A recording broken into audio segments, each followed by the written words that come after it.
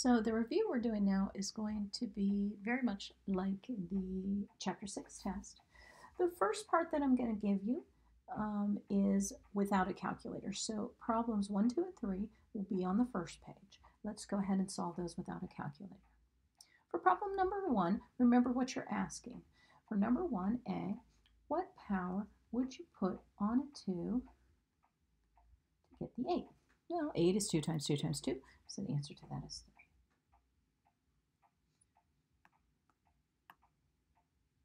Number 1b. What power would you put on a 5 to get 1 over 25? Well, now let's think about it for a little bit. Uh, 25 is 5 squared, and so if we wanted to flip it, we would need to use a negative power, so that's negative 2. C, because we don't see a base there, that's a base 10, so what power would we put on a 10 to get 10,000? What's great about uh, powers of 10, just count uh, how many places or how many zeros you see. So the answer is 4. But in D, if you have a uh, decimal value, you just have to count how many places you are to the right of the decimal, and that's your negative, because that's really 1 over 100, and it, then it becomes very much like B. That is going to be 10 to a negative 2. For E, you just have to remember that an ln and an E cancel out, so that's just 5. For F, you just have to remember that um, 7 to any power, uh, or anything to any power of 0 is what's going to give you 1, so that's why it's 0. And then finally, you need to remember for g that we cannot take the logarithm of a negative number. If you tried to do it with a calculator, it would say error, and so that one's no solution. And then we're going to jump to the graphs. So make sure you understand problem number one. You will not be able to use a calculator, and you will not be able to use a calculator for number two and number three.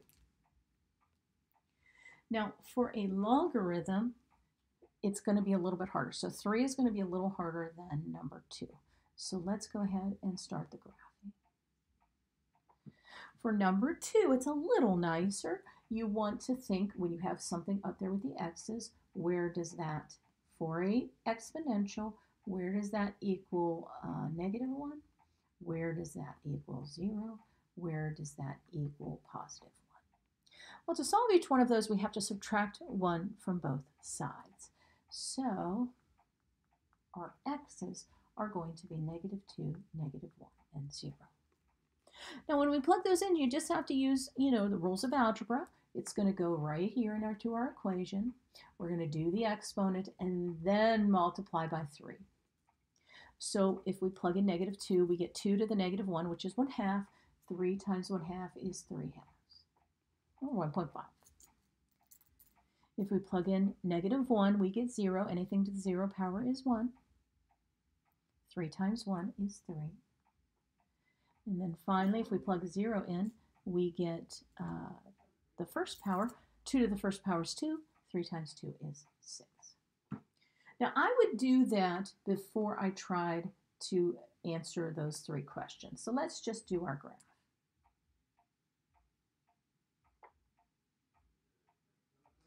Now, we are going to have a horizontal asymptote right here, and that is going to be the number y equals 0, unless we had like a plus 1 or a plus 7 or something out there, which we don't.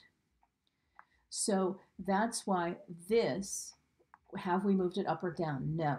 So our horizontal asymptote is 0.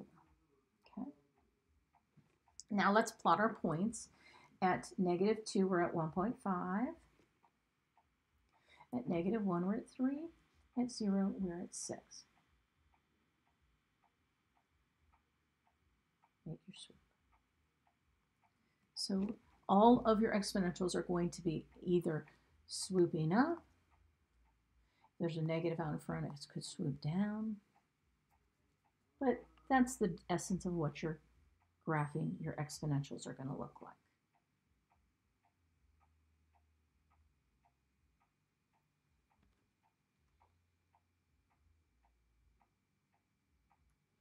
Now, let's look at a logarithm. Now, a logarithm, ha we have to be very careful about what we plug in. We are not looking for when the inside equals negative 1, 0, and 1. We want to get answers of negative 0 and 1. Remember, they kind of flip-flop these things. So this time, we're going to look where does the inside equal the powers of 3? And these are what you always want to think of. The reciprocal, 1, and the actual number. The reciprocal, 1, and the actual number. Well, if we uh, do the xy chart for that, x minus 1 equals 1 third, we would add 1 to 1 third, that's 4 thirds or 1.3. If we add 1 to 1, we get 2. We add 1 to 3, we get 4. So that will give us nice answers. Now, why does that do that? Well, if I plug 4 thirds in here, I get 1 third. The log base 3 of 1 third is negative 1. Negative 1 plus 2 is 1. Now if we plug in 2, we get the log base 3 of 1. What power do you put on a 3 to get 1? 0. 0 plus 2 is 2. You plug in 4, you get 3. What power do I put on a 3 to keep it a 3? 1. But there's a plus 2 on the outside, so we've got to add it to that. We get 3. Now this one has a vertical asymptote. The vertical asymptote is always where the inside, this is where the outside equals zero. This is where the inside equals zero. So where does x minus 1 equals 0? That's going to be at 1. Okay, so let's go ahead and do all that.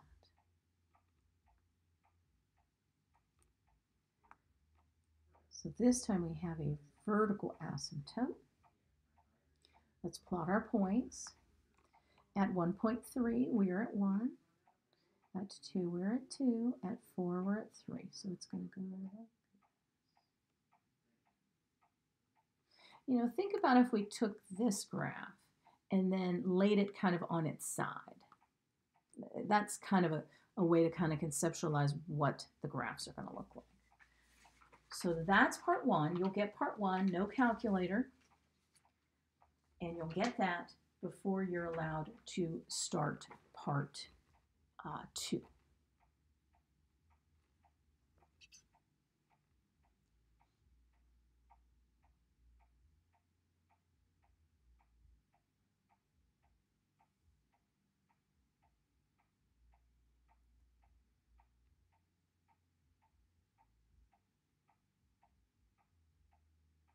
Now we are going to start the portion that allows you to use a calculator.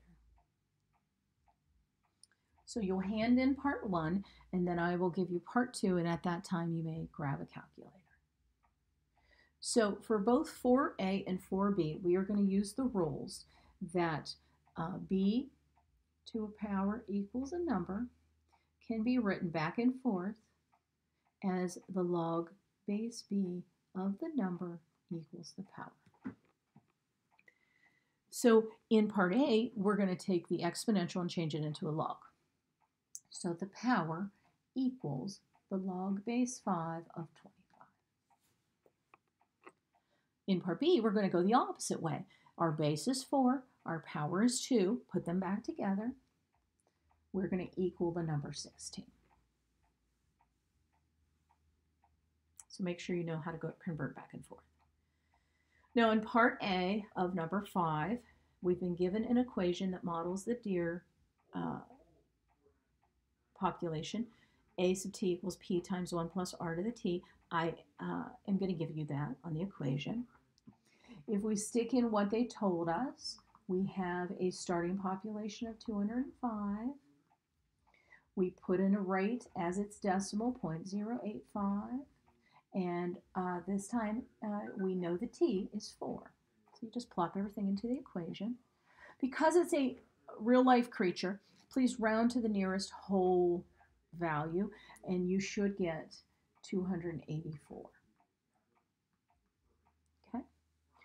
Now in C, you might see that they use the word compounded monthly. Now I'm not going to give you this equation.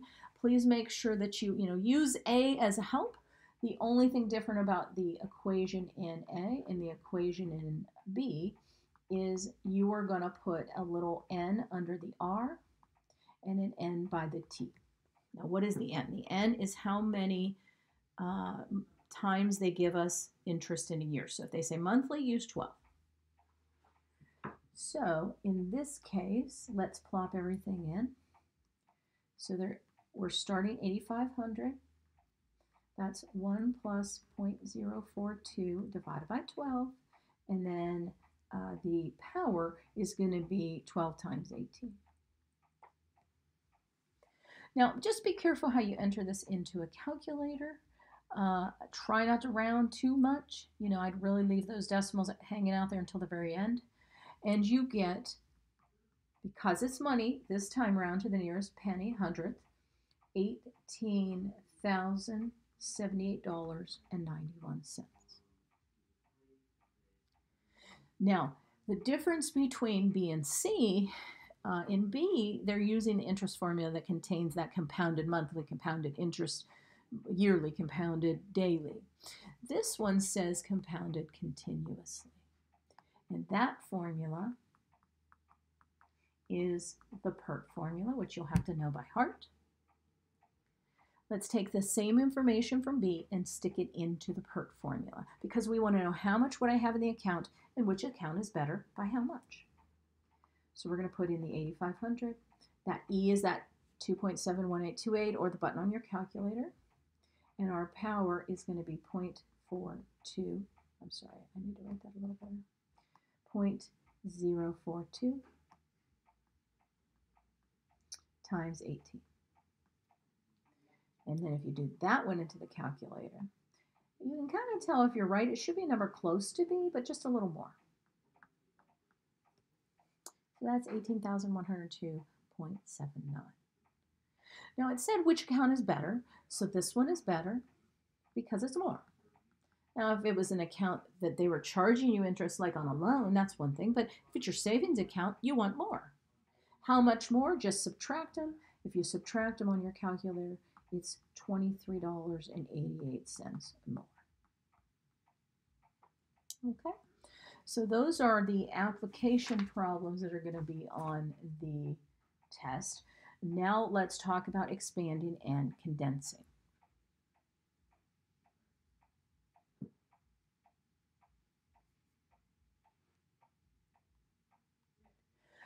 To expand, we want to use the rules that when we uh, multiply, all the factors can break up to have their own logarithm if they're positive. We add them together. If we divide, we're going to subtract those factors. So on the top, if we think that we have a factor of 2 and a factor of x squared and we're divided by a factor of y, take all the factors in the top, give them their own logarithm, and make sure those are positive and then you're going to subtract any factors in your denominator. Now, the only thing left for us to do is use our power rule, which says if we have a power inside the logarithm, drop it down in front. So your final answer would be the log of 2 plus 2 times the log of x minus the log of y. There's nothing else you can do. That is your final answer. Now 6, I notice that that fraction can reduce. The first fraction couldn't reduce in any sort of way. And why can the second one reduce? Well, check to make sure that if we factor it because we want it in factored form, and if we factor it and find any factors in the numerator and denominator that match, go ahead and cancel those out first. So you want that, that fraction to be as simple as possible. So then break it apart just like we did 6a. Uh, so it would be the natural log of x minus 1 minus the natural log of y to the fourth. Now if you recognize that 4 has a uh, power on it and you want to just drop it down in front, go ahead and do that. So we get a final answer of natural log of x minus 1 minus 4 times the natural log of y. You might notice we can't break up x minus 1. It is its own unique factor because we don't know what x is. We don't know how it relates to a natural log. That's as far as you can go.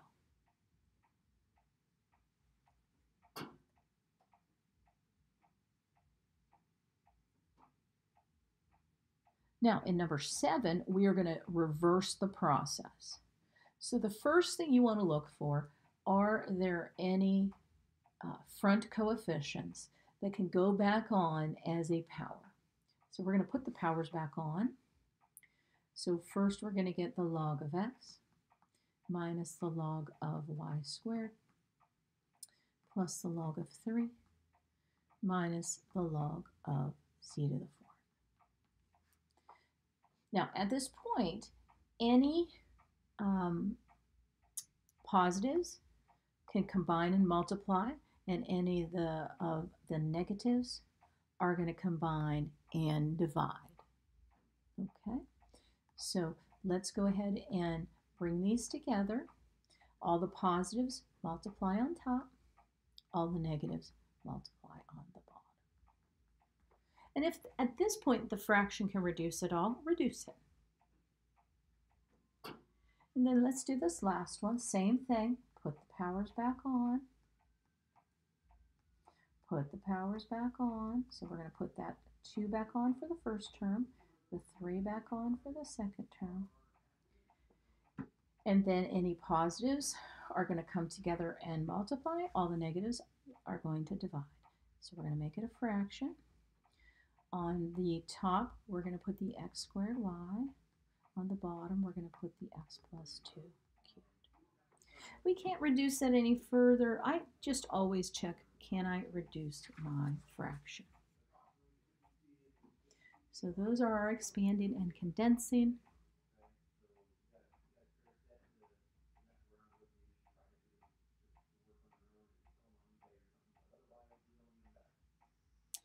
And then the last thing that's going to be on the test is going to be equations. So number eight is all about solving these equations. So that's the last thing that you're going to see on the test. So let's start with 8a. In 8a, because everything on the left side is contained in a log and everything on the right side is contained in a log, we can drop the log off the equation and it just becomes a simple equation, 2x minus 3 equals 5x minus 9. And then go ahead and just know what you know about equations, go ahead and solve it. So I am going to subtract 2x from both sides. I'm going to add 9 to both sides. When I do that, I get 6 equals 3x, so x equals 2. Now be careful. You have to check that it gives you a positive here and here. You have to check the logarithm ones especially, but you know, just make sure you check them. Okay, so can I put 2 in here and do I get a positive number? 4 minus 3 is 1. Positive, great. Do I stick it in here get 1? I get 10 minus 9, which is 1. Great, perfect. So 2 is our answer for number 8a. Now let's go ahead and look at B. Now here we're uh, going to eventually be able to use a similar technique as in 8a. In 8a, we got the logs to match, so we could take them away of the equation. In 2 or 8b, we're going to get the base to be a match of 2, and usually you're going to break down the larger number to match the smaller. It's pretty common. And so before we do anything, let's make the 4 a 2 squared. Now it's going to multiply by the 2x minus 7. So if those parentheses weren't shown, make sure that you put them there. So now we can drop those away. Not that little 2, just the big 2. And we get 3 plus x equals 2 times 2x minus 7. And it's just a simple equation to solve, you know, nothing too fabulous here. We get 3 plus x equals 4x minus 14.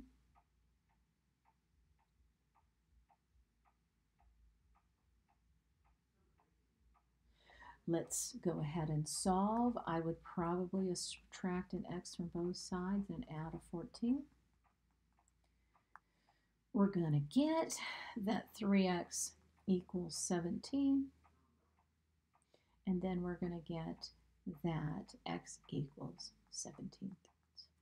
Now, if that fraction cannot reduce, then uh, just leave that fraction as it is. That's your final answer. So there is 3a and 3b.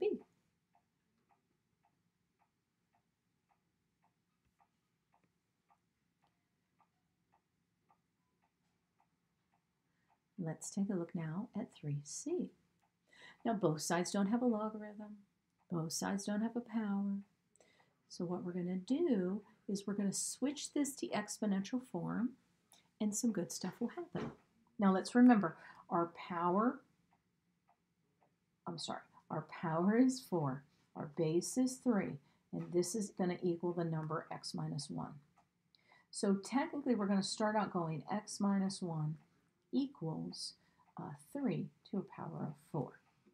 Now 3 to a power of 4 is 81, so change it to its number equivalent, you know, it's full multiplied out form. So x minus 1 equals 84, 81.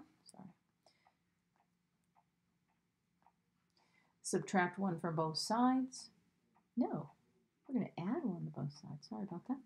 We get x equals 82. It's a logarithmic equation. Always stick it back in the equation. Does it work? 82 minus 1 is 81. What power do I put on a 3 to get 81? 4. There you go. Okay.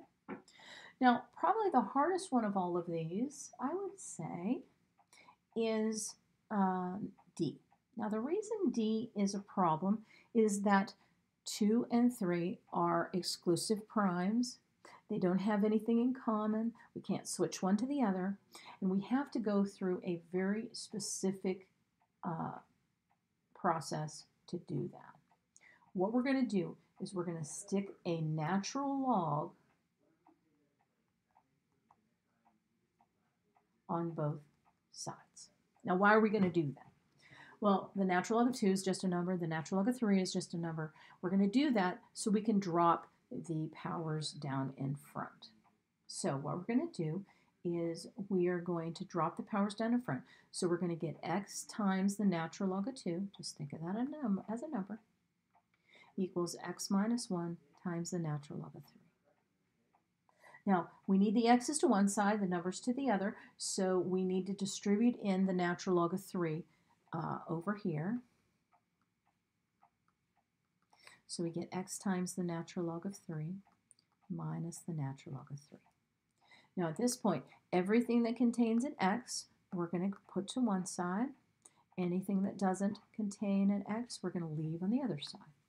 So we're going to get x times the natural log of 2 minus x times the natural log of 3 equals the negative natural log of 3.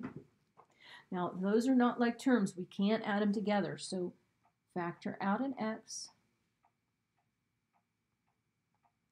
Now, if we think about it, if I said to you, what is the value of the natural log of 2 minus the natural log of 3, you'd get out a calculator, you type that in, it's just a number.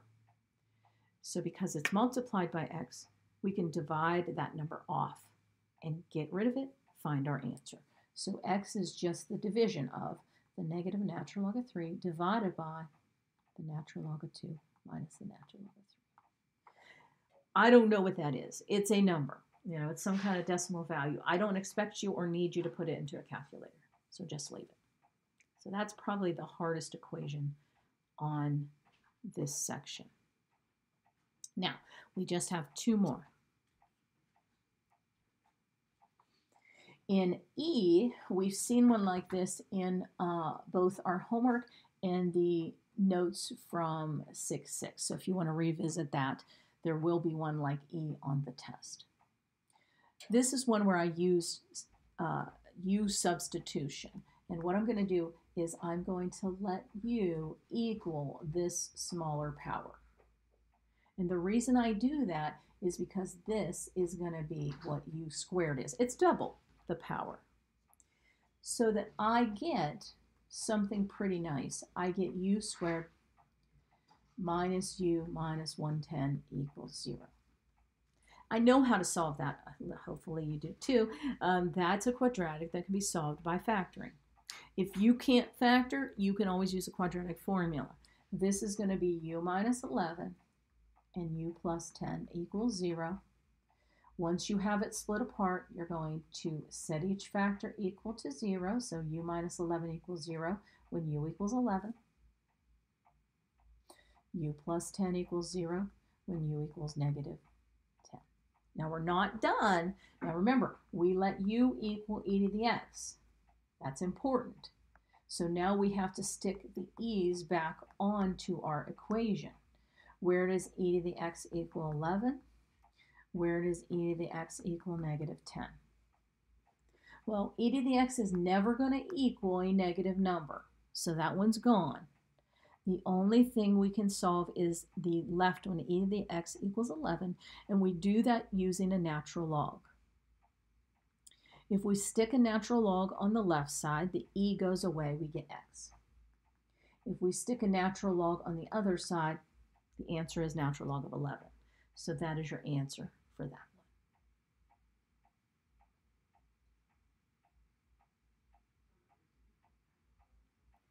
Now our last type of equation on the test is one like f. If you have separate logarithms, you first want to condense them together. So a positive condenses by becoming multiplication. So that condenses together if we take 5 times 5x squared minus 5. Once they're both condensed, we may drop them away. So the, the logarithms, we can drop that off. So we get 5 times that quantity is really just 25x squared minus 25 equals 56. Add 25 by, uh, to both sides. We get 25x squared equals 81. Divide off the 25. Take the square root. Don't forget, you got to put the plus or minus. Now this one's nice. We can take the square root of 81. We can take the square root of 25. Just take the square root of both. Oh, I didn't do that, did I? I'm sorry. Uh, square root of 81 is 9. Square root of 25 is 5. Now, you got to put it back in. Do we get a true statement if we put it back in? If you put in 9 fifths, positive 9 fifths, the only x is here, it squares, becomes a positive, it works. If you plug in 5, uh, uh, negative 9 fifths, uh, you, when you square it, it becomes a positive times 5, you know, it works. So both of those happen to work. So our answer is positive or negative 9 fifths.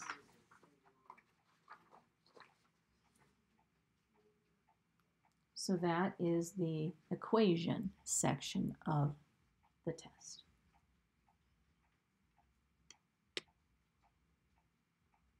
So the test is going to cover everything you see here, equations, and some word problems, expanding and condensing, converting to log and exponential form. So that is the calculator portion. So you may have a calculator for those. And then the uh, initial part you're going to get, you can't use a calculator. It, and it looks very much like you see one, two, and three. So that is the review. Please study. You study math by doing math. So go back and look at the examples again. Try some of those. Try some of your homework. Try this again. Can you do it without me? Okay, there you go. Thank you.